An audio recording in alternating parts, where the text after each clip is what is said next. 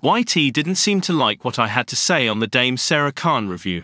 It's on BitChute and Odysee instead.